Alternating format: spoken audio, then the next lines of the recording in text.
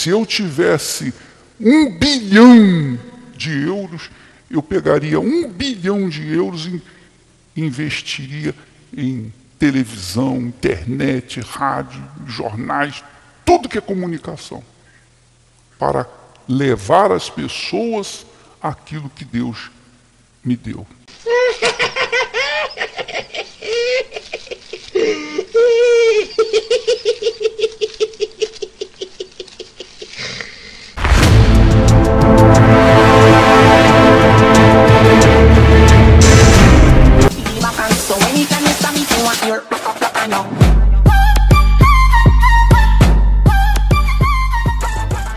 Olá, bom dia, boa tarde, boa noite, dependendo do horário que você está é, assistindo esse vídeo, também do fuso horário de onde você se encontra, tá bom? Eu gostaria muito que você compartilhasse esse vídeo com outras pessoas, que você também desse o seu like, o seu like sempre é muito importante para o canal e também se inscrevesse no canal, tá bom? Não apenas no meu canal, mas temos vários canais de denúncias. Temos o canal do Marcelo Roque, do Profeta é, Nervosão, temos também o canal do é, Submundo Gospel, Palhaço Protestante, Palhaço Cristão, Jair, né?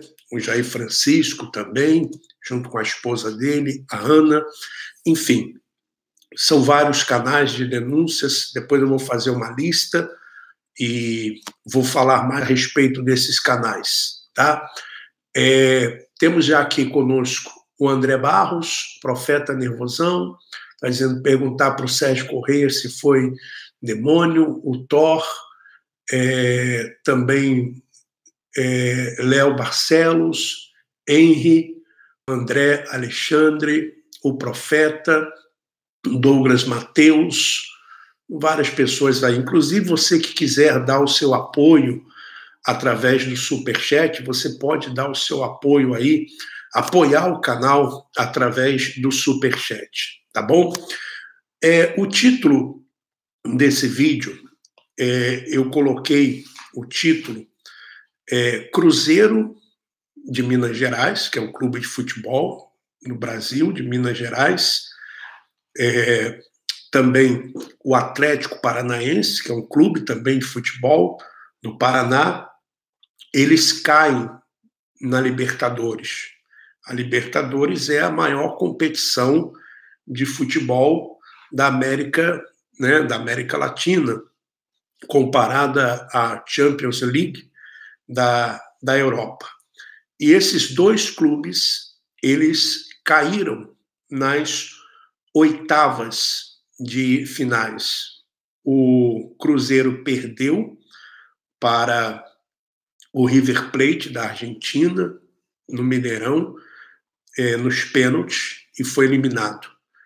É, também o Atlético Paranaense perdeu para um time argentino, o Boca Júnior, também foi desclassificado. E aí eu coloco assim: e aí, Macedo? E aí, Macedo? Por que, que eu estou colocando esse título e falando a respeito do Cruzeiro e falando a respeito do Atlético Paranaense? Porque esses dois clubes, esses dois clubes, eles trazem na camisa deles é, digimais, digimais. Eles trazem na camisa. É o patrocinador master, como se fosse o patrocinador principal do clube, o Digimais. O Digimais, na verdade, é um produto do banco Renner. Então, quem patrocina esses clubes é o Banco Renner, um banco com sede no Rio Grande do Sul. Eu não sei o valor do contrato, quais as condições do, dos contratos. E tem um outro clube também, que é o Fortaleza, que também é patrocinado por esse banco, por esse banco. Então, o que tem a ver o futebol do Atlético Paranaense, do Cruzeiro, é, com o banco e com o Macedo? O que tem a ver é o seguinte: é que, por incrível que pareça, o Macedo, que é um pastor, bispo, que quer ganhar almas, que sempre diz que largou tudo, largou o seu, é, o seu emprego de funcionário público para ser um ganhador de almas, ele é dono de um banco. Isso mesmo, esse banco que patrocina o Cruzeiro e patrocina o Atlético Paranaense e também o Fortaleza, esse banco é do Macedo. Eu vou ler uma reportagem aqui para você, que é uma reportagem é, antiga, mas só para você ter uma ideia. Essa reportagem ela é, é de 8 de 7 de 2013. É sobre economia e é no, no site economia.ol.com.br. Então diz assim: quatro anos depois, quatro anos depois, governo confirma a compra de banco por Edir Macedo. Quatro anos depois de, do anúncio do negócio, o governo, quer dizer, o governo brasileiro, confirmou a compra de parte de um banco pelo bispo Edir Macedo da Igreja Universal. Decreto da presidente Dilma, na época era presidente Dilma, ela que assinou esse decreto autorizando né, o Macedo a comprar um, uma parte do banco, 49%. Aí você vê por que, que o Macedo quer a política. Por que, que o Macedo quer a política? Uma das razões é essa. Você veja que, enquanto ele pôde se aproveitar do PT, ele se aproveitou para renovar as concessões de rádios e da Record, para ter um ministro no governo é, Dilma. Ele teve um ministro no governo Dilma, que foi o o Crivella, ministro da Pesca. E quando as coisas ficaram ruins para o PT, o que, que ele fez? Ele pulou fora. Assim como ele se aproveitou também da situação do Temer. Ele também teve um ministro no governo Temer, né? E agora também está junto com o Bolsonaro, quer dizer, não existe ideologia. O que existe é o seguinte: vamos colar junto com o governo para tirarmos proveito, para tirarmos vantagem.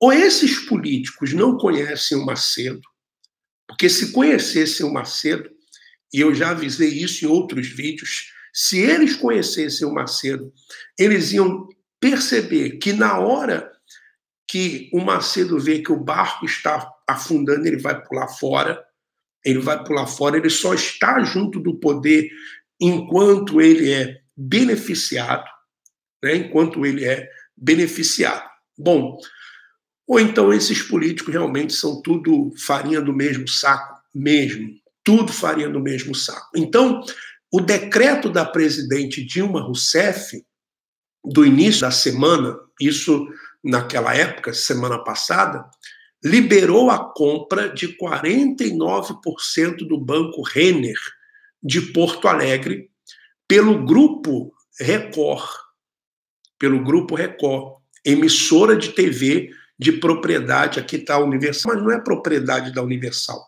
é propriedade do Macedo e da esposa, da Esther. Figuram como compradores do banco o bispo Edir Macedo e sua mulher, segundo o Banco Central. Os dois têm domicílio no exterior. Por isso, o decreto de Dilma autoriza participação estrangeira na operação. Os estrangeiros são Macedo e sua mulher. Olha só a jogada. O Macedo, ele, ele é estrangeiro ou ele é, é, é brasileiro? Ah, mas ele tem é, outros passaportes, talvez tenha passaporte americano, enfim. Mas o decreto, na época, assinado pela Dilma, autorizou a compra é, do Macedo e da esposa por serem estrangeiros, né? Ou seja, é, os controladores do banco são é, a J. Renner S.A., com sede em Porto Alegre, negociaram parte de suas ações com a empresa BA Empreendimento e Participações LTDA. Essa é, BA Empreendimentos é a holding do Macedo, é a que controla todas as outras empresas, né? que é controlada pela empresa Rádio e Televisão, cujos sócios são é, Edir Macedo Bezerra, esposa, que tem domicílio no exterior, informa nota do Banco Central. Então, as regras determinam que a presidência da República se manifeste antes da aprovação do negócio pelo Banco Central, no caso, a participação de estrangeiros no sistema financeiro nacional. O controle acionário do banco continua com a família Renner, que tinha a maior parte, né? Agora, é, eu acredito que o Macedo estava tentando comprar, né? Ele estava tentando comprar é, toda parte do banco, comprar o banco inteiro. Não sei se conseguiu ou se já conseguiu é, ser o, o sócio majoritário. Bom, eu queria pedir a você para dar o seu like tá bom? Para dar o seu like, que temos aí 115 pessoas ao vivo, 51 likes. É importante você subir aí é, esse like. Bom, e o último resumo do, do balanço do banco, desse banco Renner, é, o resumo que foi é, publicado em 12, é, mês 12 de 2018, diz o seguinte, que o Banco Renner lucrou 5,1 milhões, lucro líquido, 5,1 milhões, patrimônio líquido, 151,2 milhões, 151,2 milhões, ativo total, o ativo total do banco, 1,6 bilhão, 1,6 bilhão. É, captações, 1 bilhão. Captação, 1 bilhão. É, temos aqui números de agências, três agências, e número de pontos de atendimento, é, nove. E a fonte é Banco Central. É, então, a pessoa ela pode também ter acesso, né, se ela quiser, qualquer um pode ter acesso pela internet, é o sistema if.data, instituição barra conglomerado prudencial. Então, a fonte é o Banco Central. Agora, esse esse Digimais que vai na esse Digimais que vai na camisa dos clubes é uma maneira de o banco captar é, contas, para as pessoas abrirem contas no banco, contas é, digitais. Agora, pessoas mesmo do próprio banco, que estão dentro do banco, nos informaram o seguinte, que acha, elas acham muito estranho essa captação de contas. Por quê? Porque, segundo elas, o banco ele não tem é, lucro com aberturas de contas, com essas aberturas de contas. Por que o Macedo queria tantas, ou quer tantas contas abertas nesse banco?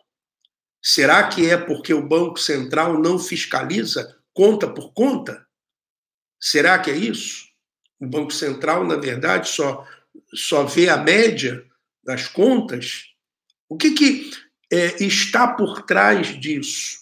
Você, que de repente é um membro da instituição Igreja Universal do Reino de Deus, você que é um pastor, você que é um bispo, você que é uma pessoa, um, um jovem evangelista, o que justifica, o que justifica o seu líder espiritual ele ter um banco? O que justifica? Porque algumas pessoas podem dizer assim, não, ele tem uma emissora de televisão, ou tem as emissoras de televisão, para pregar o evangelho, o que nós sabemos que não é. Ah, ele tem as rádios para pregar o evangelho. Inclusive, amanhã eu vou trazer a lista de todas as rádios do Brasil. Mais uma prova para o Renato Cardoso. E, e vou dizer o nome, os nomes de quem estão essas rádios, dos bispos que estão é, como donos dessas rádios. Então, o que justifica um banco? O que justifica um banco? Para uma pessoa que diz que está pregando o evangelho. O que justifica, né? O que justifica esses a, você que é membro, você que é pastor, você que né, é bispo, obreiro, jovem, eu pergunto a você é, o que justifica o seu líder religioso ter um banco? Você diz assim, não, ele tem um avião porque avião também é para obra, para ir para lá, para vir para cá, né? Não, ele tem casas boas porque ele merece ter casas boas, ele tem carros porque ele tem, né? Agora, o que justifica um banco? E ainda patrocinar clube de futebol e tem um jogador do Cruzeiro que não apenas é, o banco comprou uma parte do, é, do, do, do, passe dele, do, do jogador, como também ajuda no pagamento do salário desse jogador. E o que, que justifica você que está me assistindo? Essa é a pergunta. O que justifica um líder religioso ter um banco? E ninguém pode dizer que ele não tem, porque tem. Porque isso já está espalhado na mídia e são informações oficiais do Banco Central, do governo. Ele é dono de uma parte do banco, se já não é do total do banco. Então você vai concluindo que na verdade, isso não é uma instituição religiosa. Isso não é uma instituição religiosa. Então, fica aí essa pergunta. Né? Fica aí essa pergunta. E seria muito importante que, eu não sei se isso que eu estou pedindo aqui é, é muito, ou é um sonho né?